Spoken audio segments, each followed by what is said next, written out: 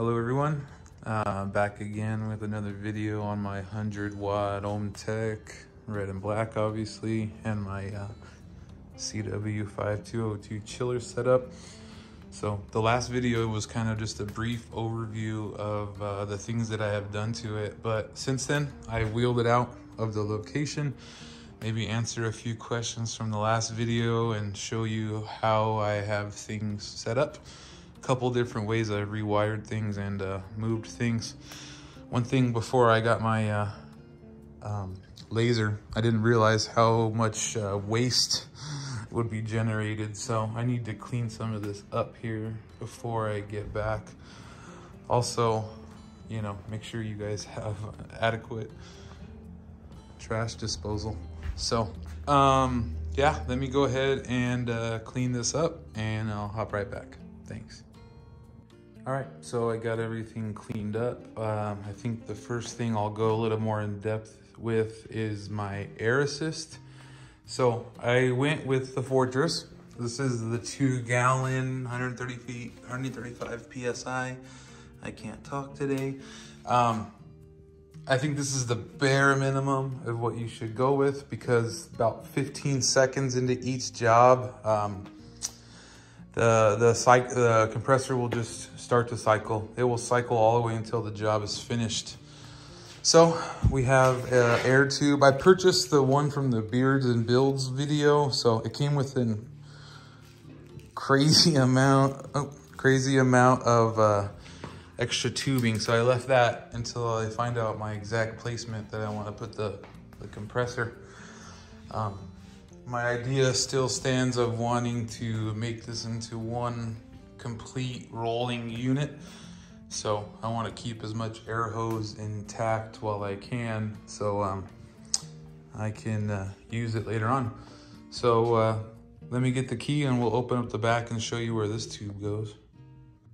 So as you can see with having the chiller in this spot, it just leaves not too much wiggle room with this uh, water line. So I think in one of the next videos, I wanna look into coming up with a way better way to get this water circulating. I mean, it works fine now, but I like things to look cool.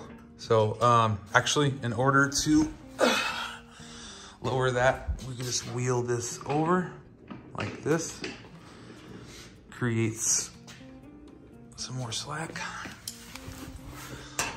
Lower the back compartment when I installed the air assist, I wanted to keep it everything as stock as possible. All right, so you can see these are the four mounting holes right here where the stock pump was sitting at. So I removed that. Uh, I used the inlet and the outlet from the, uh, from the stock location with the solenoid and the power.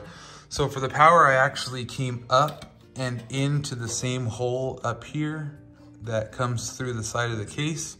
And for all the wiring for the solenoid, so sorry, the wiring for the solenoid goes up that way. Uh, the air line comes back through the case here. And then since I have extra tubing, I actually ran it through here just to keep it clean along the bottom here. And then this behind here, if you can see it, is the elbow connector that sits just behind uh, the case here. So I want to come up with something better for that as well. Um, let's see, what else here? All right, so let me move over to the side over there and I can show you how this is ran here because this is all powered directly off of the same um, lines that powered the original stock fan back there. So they were just pulled back through this hole, rewired back through here, pulled back through here, up through the hole, uh, I added some plastic sheathing to make it look better, came back down and into here. So um, that was fun. It's not too hard. It's just being attention to detail, I guess. So um, I wheeled this off to the side. You can see now I just have everything running off of this industrial power strip here. Um, and then back into the wall. I can show you that after. Um, so you can see the multimeter that I have, multimeter, sorry, ammeter uh, that I have. I have it on the side door. So let's go ahead and open that up. One thing that um, I forgot to mention in the first video was the fact that about two or three days after I purchased this, both switches no longer work. Um, luckily for me, they were broken in the on position. So every time I uh, use the power strip, I control the entire unit. Uh, but it doesn't give me the peace of mind of being able to turn off the laser. So um, I actually have new switches I just purchased that are higher grade. So I'll be putting those on soon. Um, let's see here. So I reran, like I said, I pulled all that cabling back. I reran it up here in through the top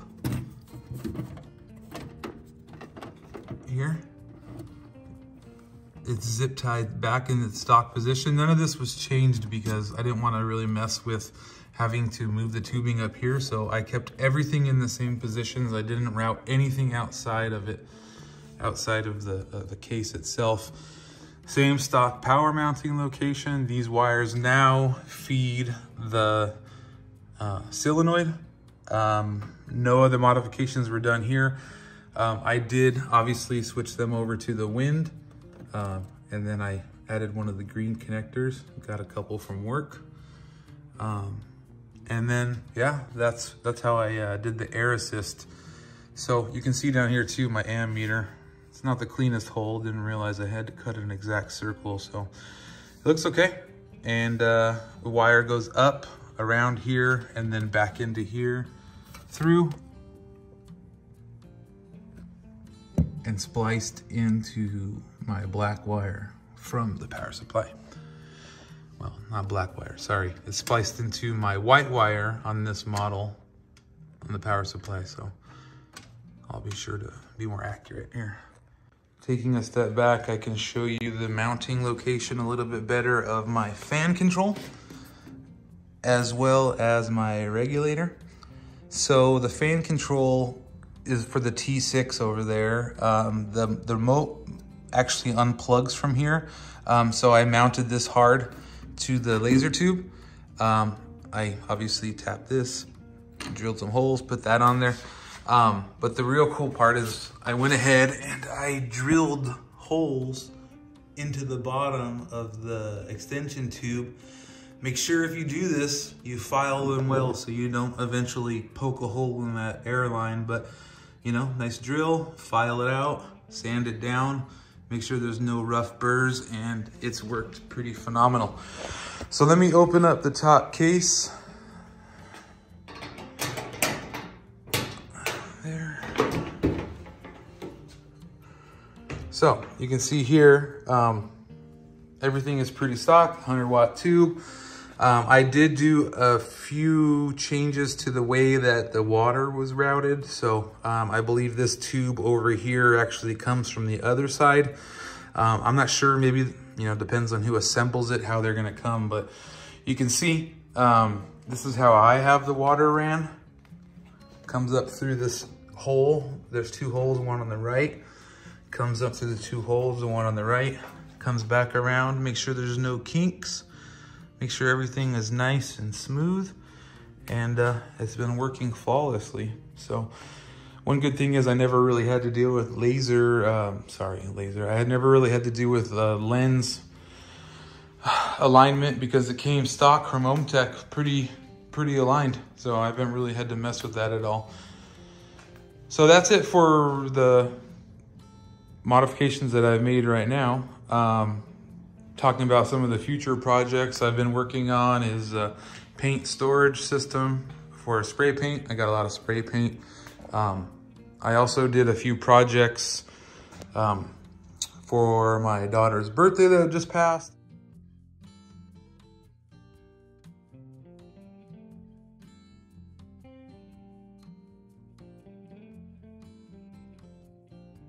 Uh, there you pretty much have it. So um, I'm starting to enjoy making these videos. So if you guys like them, please tell me what else you guys would like to see. Um, some of the future mods that I have coming up is I definitely need to raise this unit. Uh, I'm six foot two, so it's kind of a pain to bend over. So I'm devising a way to lift and extend. Uh, I'm not sure how yet, we'll figure it out. Um, so I can make it higher, six inches higher. It'll still fit under my desk over there and um, be a little bit easier on my back. Also, want to change out these caster wheels. I don't know, I'm not too much of a fan of them. They seem kind of small. I know it's not a heavy unit, but maybe change that up. Um, one of the big things I want to do is I'm a I'm a fan of green, so I would really love to have this thing green and black. So maybe one day we'll see. Um, until then, you guys have a good day. Talk to you soon.